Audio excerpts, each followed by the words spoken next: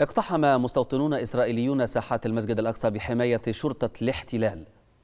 وأفاد شهود عيان بأن عشرات المستوطنين اقتحموا الأقصى من جهة باب المغاربة ونفذوا جولات استفزازية وأدوا طقوسا تلمودية كما منعت شرطة الاحتلال المتمركزة على أبواب البلدة القديمة والمسجد الأقصى المواطنين الفلسطينيين من الدخول مما تسبب في انخفاض أعداد المصلين للشهر الرابع على التوالي.